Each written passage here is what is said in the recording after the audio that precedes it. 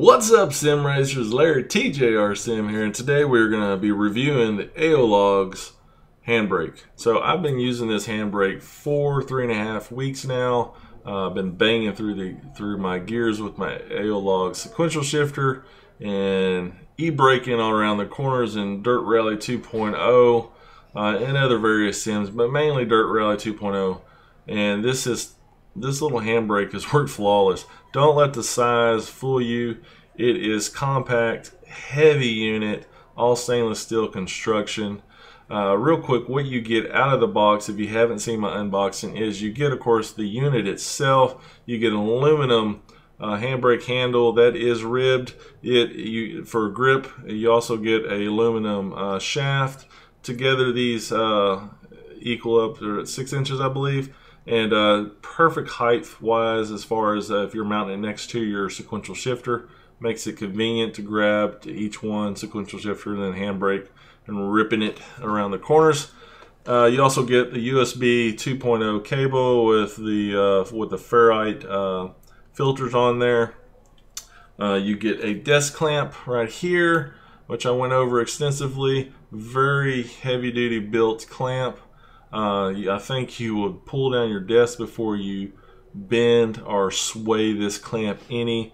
Uh, it's nice to see that a company thinks of multiple things to do uh, or, or, or, provide us customers. You know, yes, we build a they build a great unit, but they also give you solutions that are just as sturdy and compact as their actual unit itself. So I like that. Uh, this thing is built to last, even though I just knocked that off. it's a plastic little cover, but that cover uh, helps for when you are sliding it under your desk. You know, sliding on your desk here, that cover will uh, keep you from marring up underneath your desk. And along with that, it has these little rubber strips here that slide on to the bottom of your handbrake like so. Just fits in there nicely like that there to keep you from marring up the top of your desk. So uh, well thought out design, uh, uh, I think. And uh, so yeah, great, great little additions and stuff. I of course don't use that uh, as you saw in my other review, hopefully, uh, or my unboxing.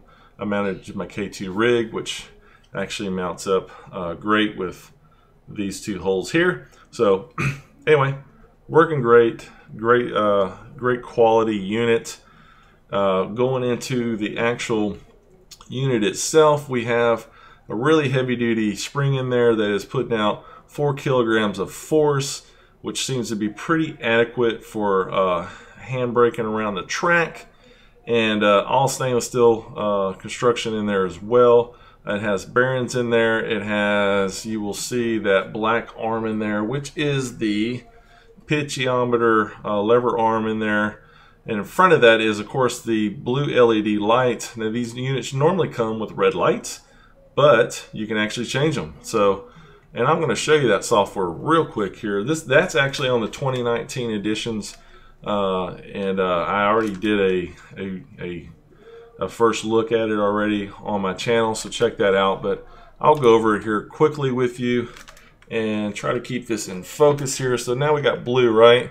Uh, as I move the dial around here, I can change the color. So we're going from red to pink to blue to cyan to green, yellow, uh, get a picture yellow, and then red again, although it looks a little pinkish. There we go, red, red again. So uh, you can make whatever color combination you want, which I really like. It's a nice addition uh, to the package. Just gives you an extra little little uh, little perk. So we all like perks, right? Gives you an extra little perk in here that you can change this to your liking. So really cool to see that they implemented that as well for the 2019 units. And uh, yeah, I dig it, dig it a lot. So going on, you know, in a review, you always inevitably have some some good and some bad and and then you know a conclusion so you know the good just go over the good real quick uh, because that's a lot longer than the bad, I tell you that. So the good is, I like the removable USB cable. Makes it easy to mount up. I don't have a cable in the way. I love that. I love the LEDs being able, I love that it has an LED in there for one. because it looks really cool at night when you're when you're racing. And then uh, then I can actually change the colors. Another plus. All stainless steel construction, very heavy duty unit.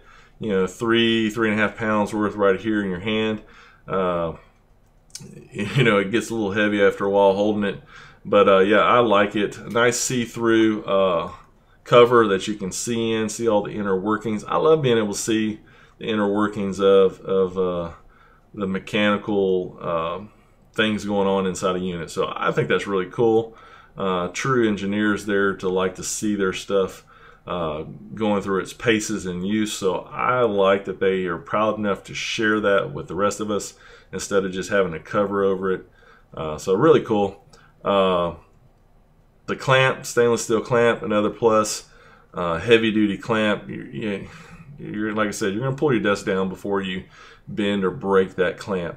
Uh, nice polished handle, and it is gripped. A little bit ribbing here to help you with the grip. But it's not so grippy that when you let go, or it's really this way, when you let go that it does slide out of your hands, you know, pretty easy though.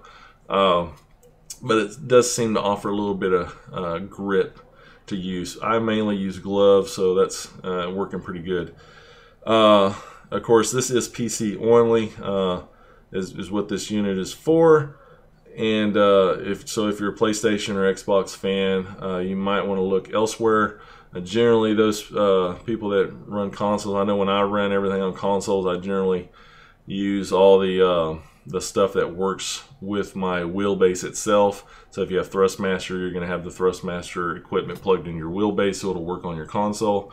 Same thing if you have Fanatec, you're going to have the Fanatec hardware that plugs in your wheelbase that'll work on your console. Of course, I urge you to go to PC because PC racing, you get to try out really cool products like this and uh, get to use them. And they're very compact and, and, and they're designed. So, uh, more great th things about this. Okay, I said it's built like a tank. Uh, there's no chassis flex at all. You don't, even though this thing all seems to go together with like little um, so this is the top plate and bottom plate's kind of the same, and then the side plate smashed together, and all comes together, right, with some screws to hold it together. You know, by itself, you would think it'd be uh, not as rigid, but when you put the whole unit together, this thing is like a tank, man. You, I mean, you could throw this across the yard and not ever have anything happen to it. Uh, built very good, so I like that. I like the construction of it.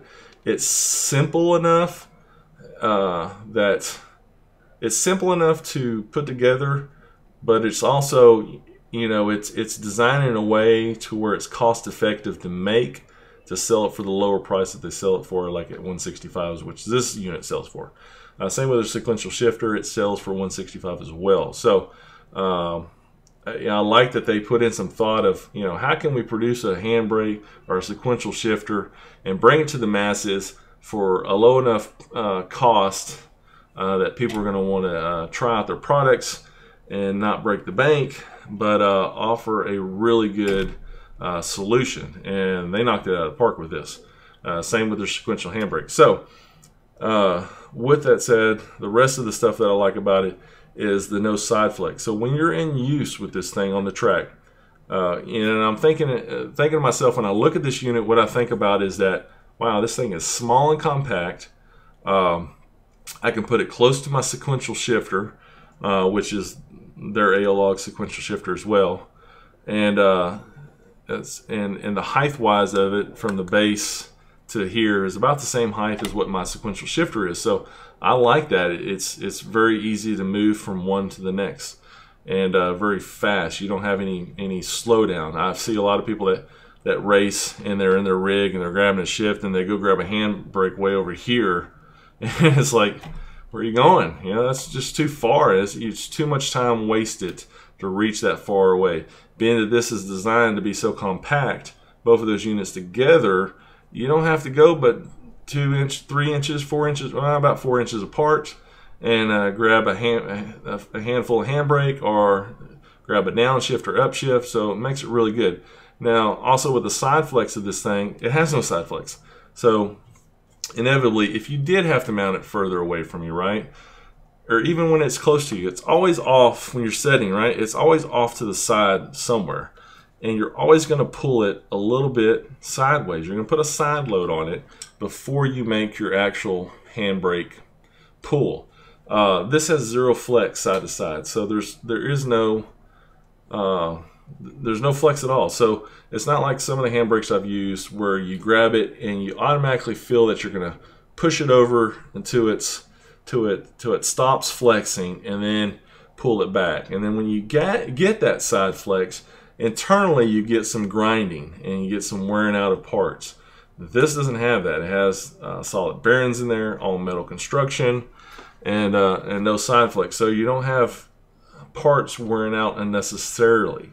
So for the price point, you're getting a lot. You're getting a lot of good design intent and uh, and, and and build and some ingenuity that goes into this thing, right? So uh, I like that. Um, also, you get uh, 12 bits of resolution out of this thing. So what that what does that mean? 12 bits of resolution. You know, people will hear you know 10 bit, 8 bit, 16 bit, 12 bit, obviously.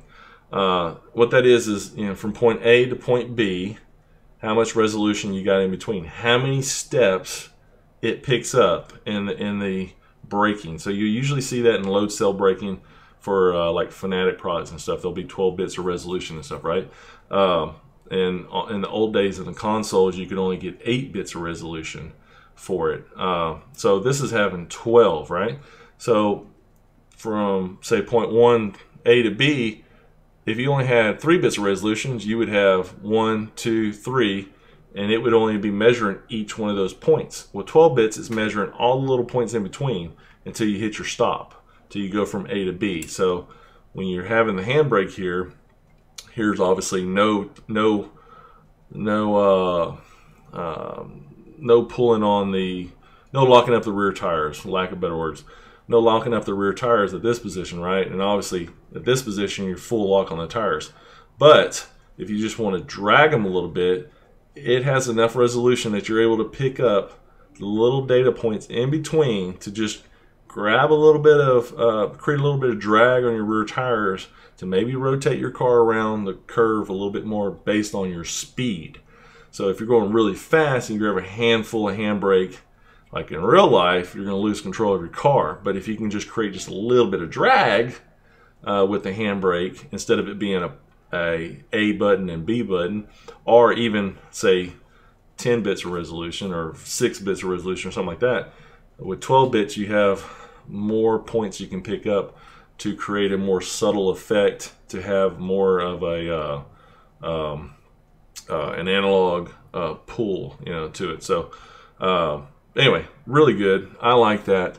Seems to work really good. I was testing out in Dirt Rally 2.0 as well, and uh, you know, I'd, I'd, go grab a little bit of brake, and you could, you, you know, feel it tuck down, tuck down, and then uh, when you lock it up, of course, you know, the back wheels lock up and stuff. So, uh, really a lot of fun, and I tested it out, and it actually works. So, uh, not that I didn't expect it wouldn't work, but it's cool to see it on screen work like that too. So, anyway, uh, 12 bits of resolutions, another great thing. Compact design, no side flexing lever. USB 2.0 uh, that you don't have to have attached when you're trying to mount it up to your rig. These are all great things about this unit. Uh, it's getting heavy to hold here after these few minutes already. Uh, but uh, what else is there? Well, let's go on to the bad. There is no bad. That's the great news. I haven't found anything bad about it. Uh, it works as it is instructed to work. It's a handbrake. It works as a handbrake perfectly. It has a progressive pull on it. You know, it's a little bit hard to hold it here and show you, but it has a nice progression and pull on it. Four kilograms of force, so that's what you get out of it. If you wanted more force, uh, you're probably going to have to shop for a higher end handbrake uh, than what this one is, but you're also going to have a higher end price tag to go along with it. I think the four kilograms of pull force is kind of the sweet spot out there as far as as uh, not being the heaviest loaded uh, handbrake, but not being too light and flimsy feeling. Right? It's a solid construction. It feels great, but uh, you have enough pull force to have a lot of fun with, uh, but uh, and not being too light at the same time. Now, obviously, you can get heavier duty units out on the market. There's going to be a lot more pull force, or could be a lot more pull force, uh, and and uh, I've tested those as well.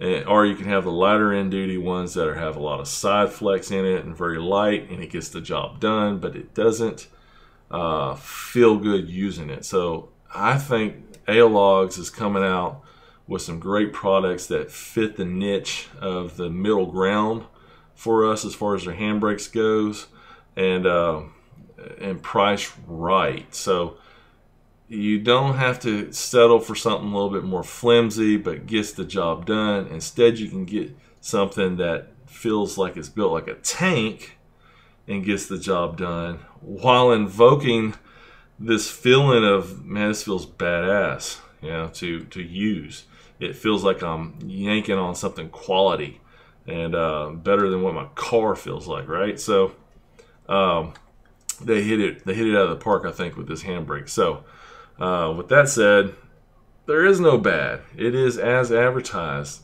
I haven't had anything go wrong with this thing. It is built perfect, and I, I don't think I've reviewed a product that didn't have something bad around it about it. So uh, this works great. So anyway, all in all, uh, in conclusion, uh, you should go get you know one for you, one for your racing buddy so y'all can go drifting around on the track. no, no I, I think all in all, it is worth your your look.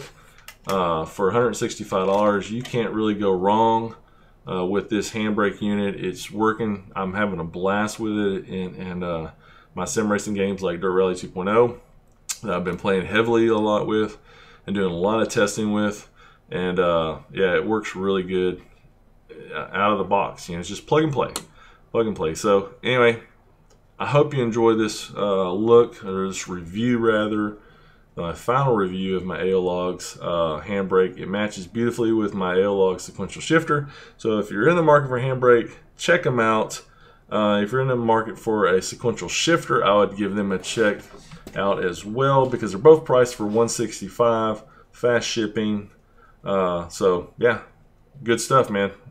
And as I can say about it, when it's good, it's good.